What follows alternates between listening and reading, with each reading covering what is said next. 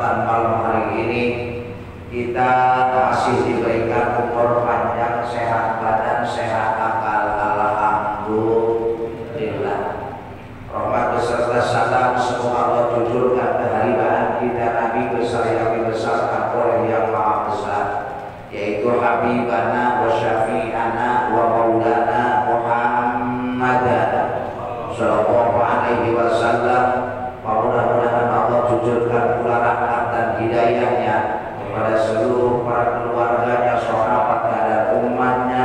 Mudah-mudahan kita semuanya yang hadir di majlis alim yang mulia ini mendapatkan cucuran syafaat di yaumul nanti. Amin ya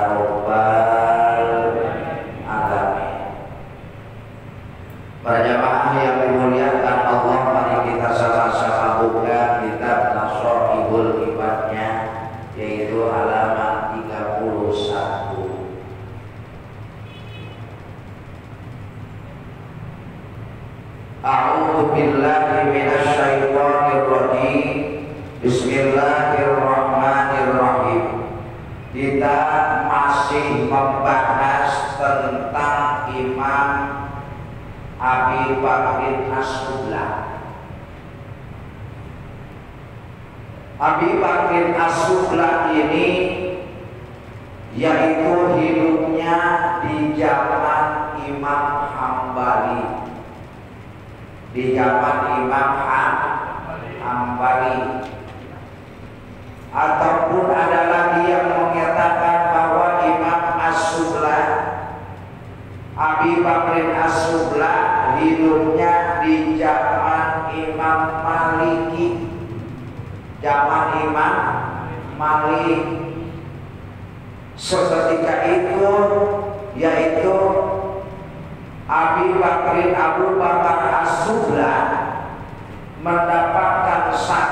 ijazah yang disebut biasanya di mana yang selalu kita baca. Mana kalimatnya? Yaitu setiap tiap dibacanya adalah di waktu api sholat Jumat. Pakai amalan sholat Jumat. Ini satu ijazah daripada Imam Malik. Mana kalimatnya? Ilah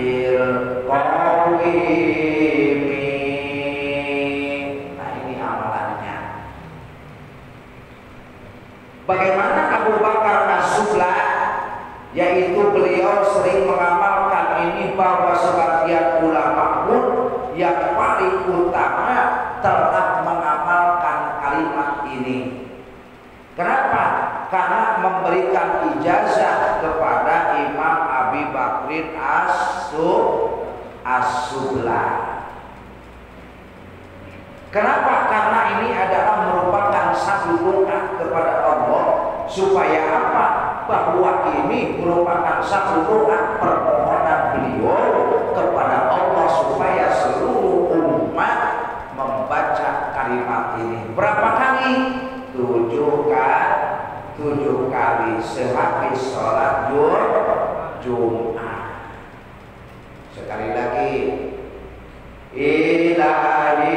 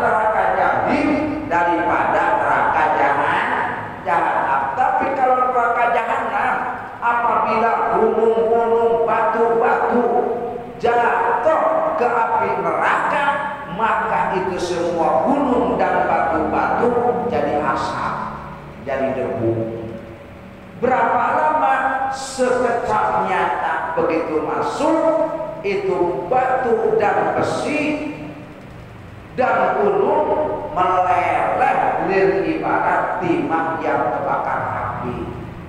Itu batu gunung dan besi.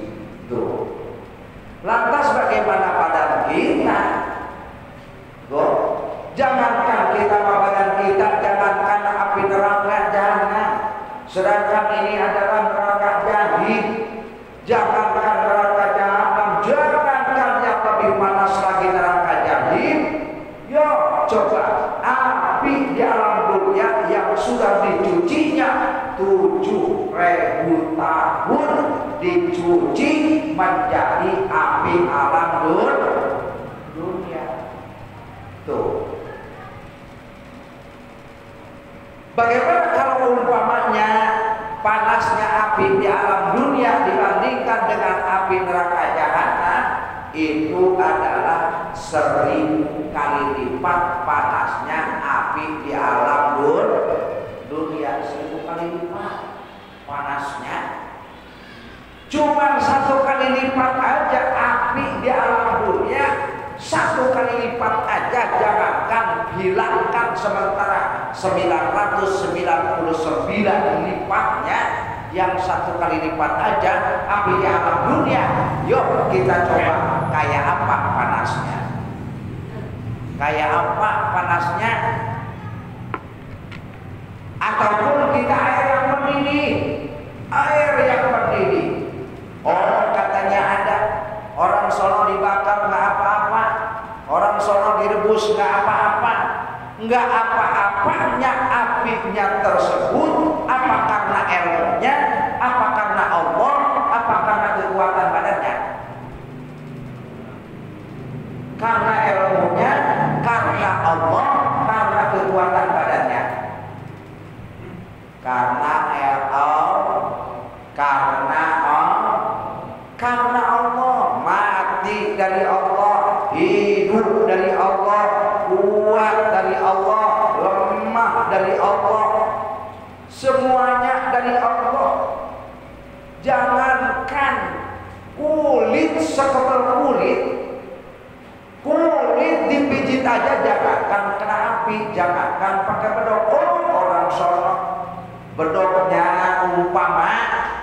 dibacokin ke perut nggak mempan. Dibacokin ke tangan nggak mempan. Disiram pakai air panas nggak mempan. Air keras nggak mempan. Apa karena kulitnya yang tebal apa karena ilmunya? Apa karena Allah? Karena Allah Allah la haula wala quwata illa bil manusia tidak punya daya dan upaya wala quwata tidak punya kekuatan tuh illa billah terkecuali dengan sabab Allah sabab Allah semuanya. Kita jalan dari rumah menuju majlis taklim ini apa karena kita? Karena Allah. Karena Allah. Karena Allah.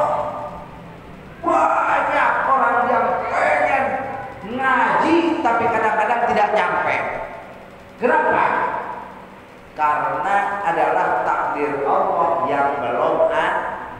Tapi manusia kudu akbarul haiman besar cita-cita. Nah pengen sadar. Tapi kalau Allah tidak berkehendak dan kita juga tidak punya keinginan maka keinginan tersebut datang dari kita. Hakikatnya dari Allah. Keinginan kita itulah adalah syariat. Syariat. Hakikatnya apa? Dari Allah kalau memang kita mengandalkan Allah umpama tidak punya duit bagaimana Allah? Tidak kerja bagaimana Allah? Sakit bagaimana Allah? Umpama semuanya kita tangguhkan kepada Allah maka kehidupan kita adalah yang ada hanya kekufur kekufuran nggak punya duit ah, bagaimana Allah nggak kerja ah bagaimana Allah umpama sakit ah bagaimana Allah manusia adalah wajib syariat. Kalau hakikatnya Allah. Yo kita cari rezeki ke mana pun. Dengan sabar kita usaha kerja. Nah tapi kalau hasil dan tidaknya itu adalah punya Allah. Punya Allah. Kita bersyariat. Nah tapi syariat tersebut jangan hanya satu tujuan hakikatnya kita bersyariat itu harus banyak jalan umpama. Oh seperti apa? Tidak jangan sampai tujuan harus banyak jalan. Allah tidak bakal merubah nasib manusia terkecuali kita sendiri yang merubah nas nasib. Umpama kenapa lu ah nasib. Kenapa lu sakit tak berobat ah nasib kenapa lu umpama nggak cari duit? Ah nasib. Tuh. Jangan salahkan nasib. Ya kalau pertama kita tujuannya adalah bersyariat. Syariat syariat itu usaha. Hakikat baru Allah yang menentukannya. Kita dagang umpama syariat. Kita kerja syariat kalau sudah dagang sudah kerja hasil dan tidaknya itu adalah rahasia. Allah. Tapi tidak mungkin kalau kita yakin dengan tujuan kita maka Allah akan mengiringinya. Ada yang rezekinya lewat dagang ada yang rezekinya lewat kerja ada yang rezekinya lewat bisnis ada yang rezekinya bermacam-macam. Allah berikan jalan. Itu hakikatnya ya wala akwa alat naril jahimi. Kita semuanya wala akwa tidak punya kekuatan alat naril jahimi terhadap neraka jah jahim. Doa itu sebenarnya. Yang nomor kedua barang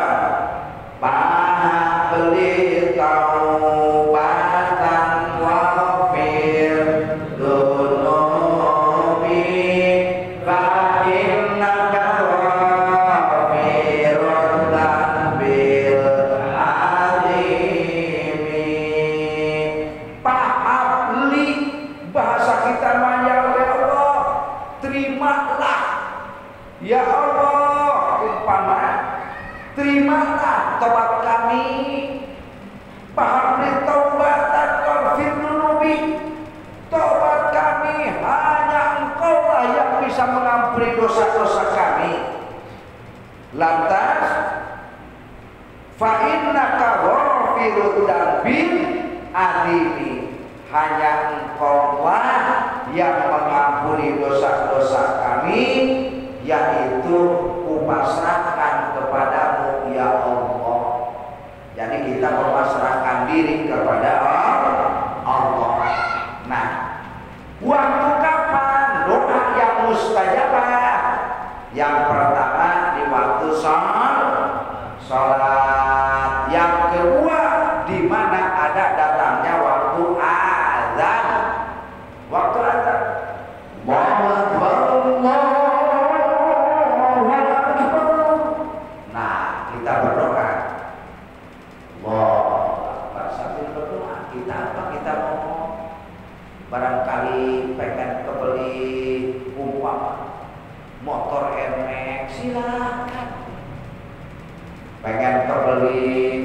mobil CRV silakan.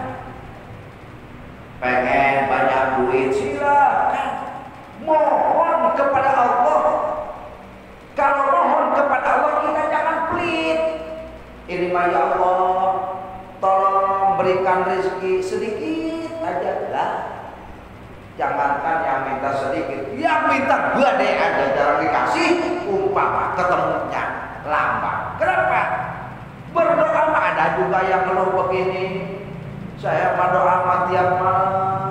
Saya mah doa mah tiap hari. Nah, doa yang mana dulu yang cepat didengar oleh Allah. Ibaratnya begini contoh doa Paham li taubatan wafir dunubi fa innaka ghafirud dzambil adimi. Bahwa kita merasa merasa kita sholat belum tentu kita diterima. Dosa kita banyak belum tentu diumpama diampuni Allah walaupun seperti itu tapi jangan kita bosan jangan bosan ayo kamu berdoa saya berdoa tiap hari tapi begini-begini aja terus berdoa aja udah bosan setahun doa saya begini-begini aja tuh Allah tidak seperti itu semua doa manusia Allah ijabah terkecuali permohonan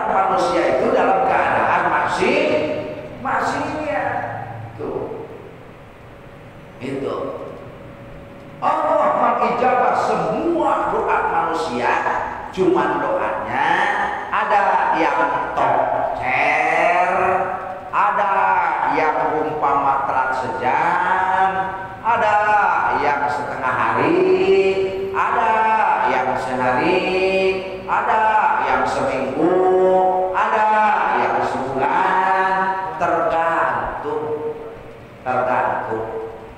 Bagaimana Tamsilnya seperti ini. Contohnya, kita punya anak dua.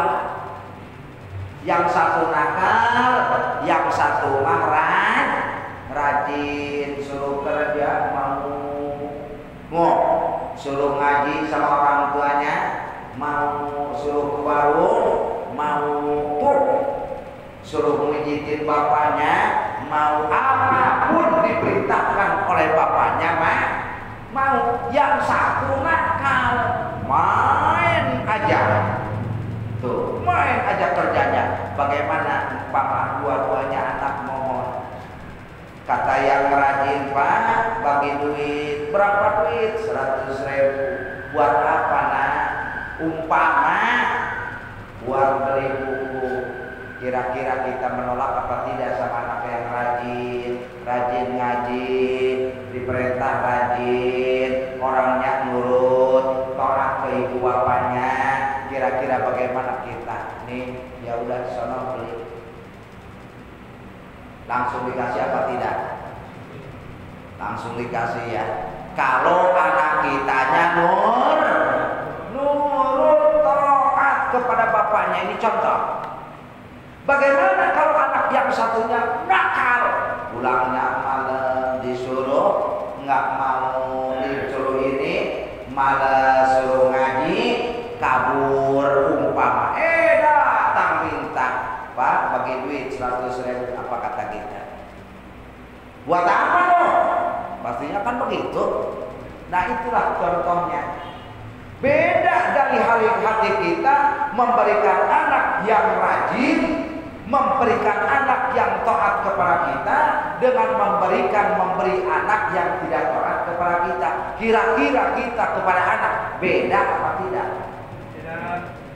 Beda apa tidak? Beda. Beda. Allah juga sama. Sifatnya lain dengan kayak manusia. Allah mah sifat Rahman Rahim. Allah mah sifat Rahman Rahim. Tuh, yang nakal dirizkiin, yang rajin dikasih rizki, yang sebul dikasih rizki, tukang ngaji dikasih rizki, yang harus ngaji dikasih rizki, yang to'an dikasih rizki, tukang mabok dikasih rizki rizki maka kalimatnya Allah sifat Rahman Rahim. Tapi kalau dikasih rizkinya barokah dan tidaknya itu mah ada di diri Allah.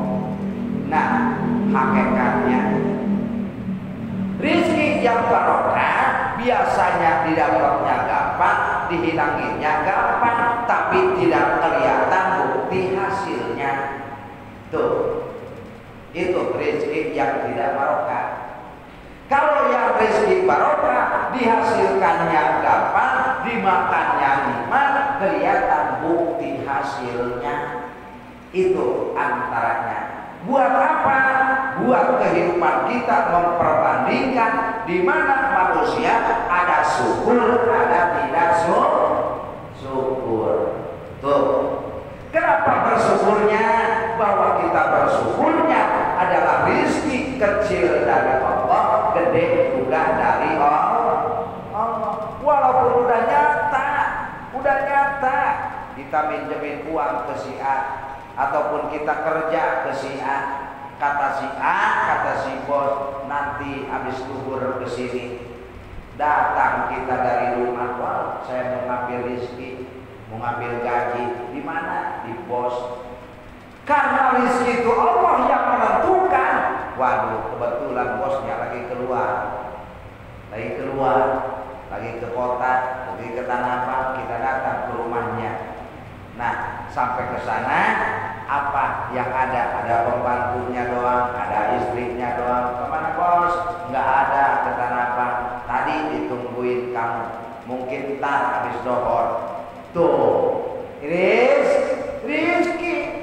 Walaupun sudah janji, kalau Allah belum waktunya memberikannya pada saat itu, detik itu, waktu itu, maka ada aja jalannya. Rizki datangnya dari Allah. Sababiahnya adalah dari sesama sesama dari sesama manusia tapi hakikat dari Allah. Oh, rizki dari Allah, dari Allah rizki mah. Rizki mah semuanya juga dari Allah. Tapi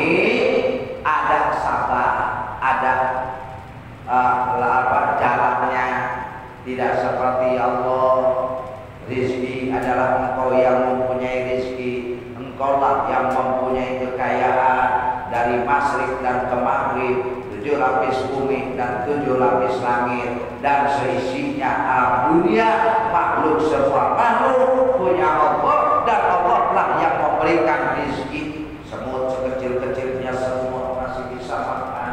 Allah yang memberikan rizki. Ikan dari ikan yang kecil sampai ikan yang gede bermacam-macam ikan di lautan. Allah yang memberikan rezeki bisa hidup di alam lautan semuanya punya Allah tapi harus ada sabar tanpa sabar mah adalah itu mah keyakinan ini ini iblis tanpa sabar keyakinan iblis. Mana keyakinan iblis? Miara tuyul, datang yang bawanya iblis tuyul, dibawain sama tuyul. Go. Nah itu keyakinannya. Kalau kita mah semuanya ada jalan, ada sabar. Ada yang sababnya dagang, ada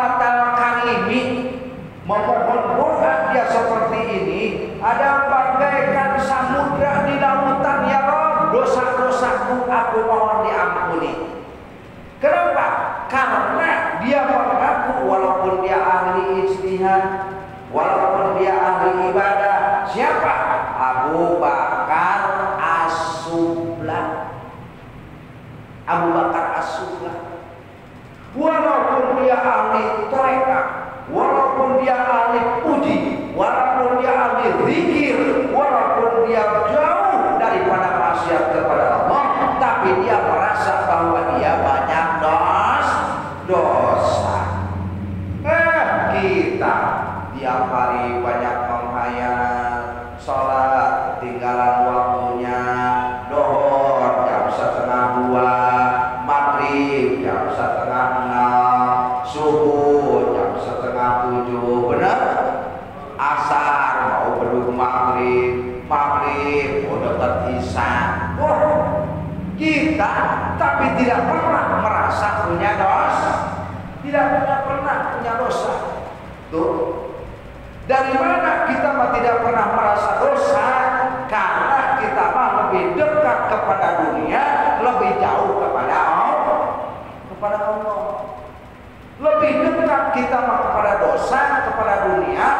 jauh kepada Allah, kepada Allah.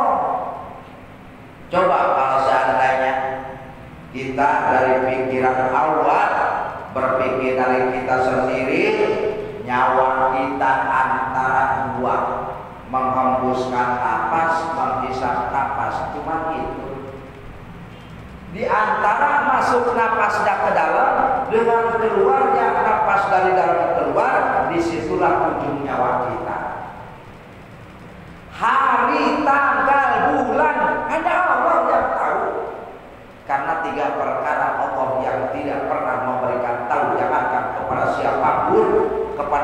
ikat pun semuanya tidak dikasih tahu.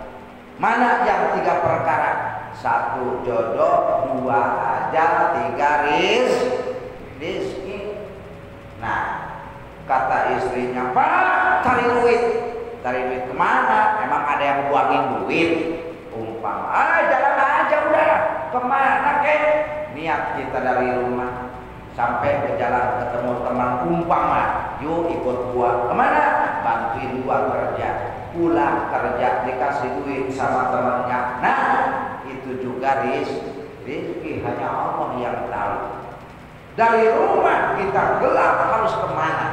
Cari rumah cari duit. Ada lagi yang bingung mau ke mana lagi? Ini akan mencari mengadukan nasib berangkat dari rumah sampai ke jalan umpama yuk ikut gua ke mana nih jualin umpama ini gua. Jualin apa? Nih kalau laku nanti gua kasih. Kebetulan ingat tuh temannya pengen kita bawa ke teman kita. Nih orang teman gua ada yang suruh jualin ini. Berapa duit? Katanya sih suruh sekian. Eh biarlah kalau begitu mas saya beli. Jadi setorin yang punya. Nih bang udah laku Siapa yang teman gua Nih gua upahin rizki Dari mana aja rizki mah Jalannya adalah Allah. Wasafiti ala nahjil kawimi Maka dosa yang bahasa kita mah yang kelihatan Dan dosa yang tidak kelihatan. Mana dosa yang kelihatan, dosa yang tidak kelihatan kalau dosa yang kelihatan yang kita kerjakan, kalau dosa yang tidak kelihatan dosa sir. Mana dosa sir?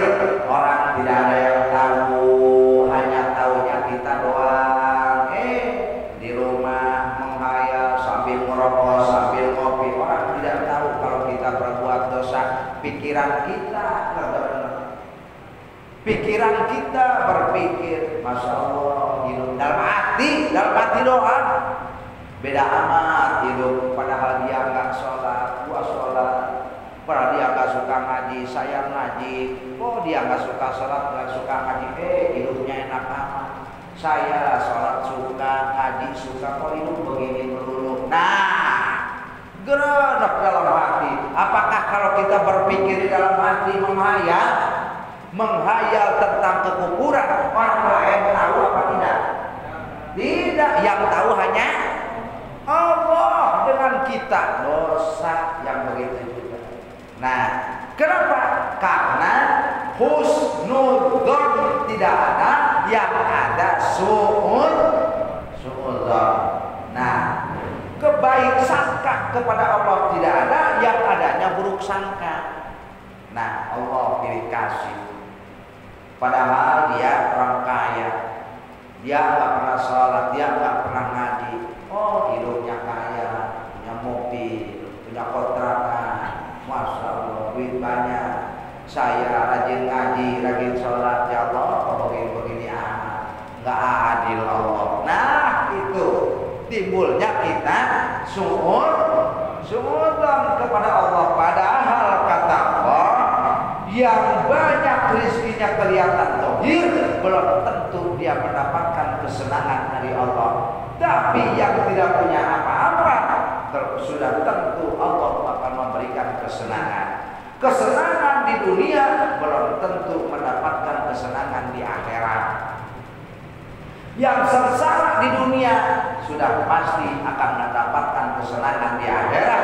Yang penting kitanya jangan kufur banyak bersyukur dia punya mobil belum tentu dia nggak punya utang dia punya mobil dapat beli atau dapat utang Go. ada yang bawa mobil mobilnya kreditan keterangannya bagaimana dibandingkan dengan kita yang tidak punya mobil tidak punya kreditan ada yang bawa motor Nmax kita punyanya cuma supra umpama. Nah, bahwa enak kita lihat gagah, belum tentu dia tiap bulannya. Nah, kita bawa supra tenang, tidak bayar. Cicilan kan begitu.